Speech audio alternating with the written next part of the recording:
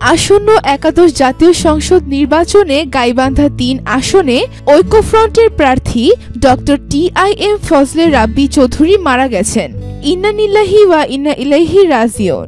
বিশে ডিসেম্বর বৃহস্পতিবার ভোরে হৃদরোগে আক্রান্ত হয়ে রাজধানীর ইউনাইটেড হাসপাতালে তিনি মারা যান। মৃত্যুকালে তার বয়স হয়েছিল চুরাশি বছর। বিষয়টি নিশ্চিত করেছেন নিহতের ছোট ভাই বাছা চৌধুরী। তিনি জানান ডক্টর ফজলে রাব্বি চৌধুরীর দীর্ঘদিন ধরে ফুসফুসের সংক্রমণ ও উচ্চ রক্তচাপ সহ বিভিন্ন রোগ ছিল। পারিবারিক জীবনে তিনি তিন ছেলে ও দুই মেয়ে সন্তানের জনক। রাব্বি চৌধুরী উনিশশো চৌত্রিশ সালে পহেলা অক্টোবর গাইবান্ধার পলাশবাড়ী উপজেলার তালুক জামিরা গ্রামে জন্মগ্রহণ করেন। ছয় ভাই ও দুই বোনের মধ্যে তিনি ছিলেন দ্বিতীয়।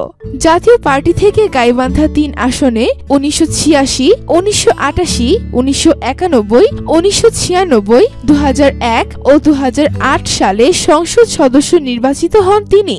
এর আগে উনিশশো চুরাশি সালে ফজলে রাব্বি চৌধুরী জাতীয় পার্টিতে যোগদান করেন। তিনি সাবেক রাষ্ট্রপতি হুসেইন মোহাম্মদ এরশাদের রাজনৈতিক উপদেষ্টা ছিলেন। পরবর্তী সময়ে ভূমিমন্ত্রী, ত্রাণ ও পুনর্বাসন মন্ত্রী ও সংস্থাপন মন্ত্রী হিসেবেও তিনি দায়িত্ব পালন করেছেন।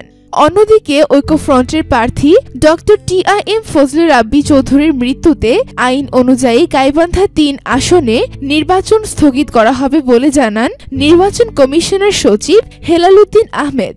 বৃহস্পতিবার দুপুরে রাজধানীর আগারগাঁওয়ে নির্বাচন ভবনে এক ব্রিফিংয়ে তিনি এ তথ্য জানান। তিনি জানান গাইবান্ধা তিন আসনে ধানের শীষের ঐক্যফ্রন্টের প্রার্থীর মৃত্যু হওয়ায় নির্বাচন স্থগিত হচ্ছে।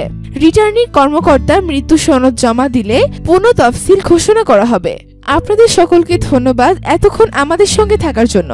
সাবস্ক্রাইব রঙ্গমঞ্চ আর বেলবাটনে ক্লিক করতে ভুলবেন না।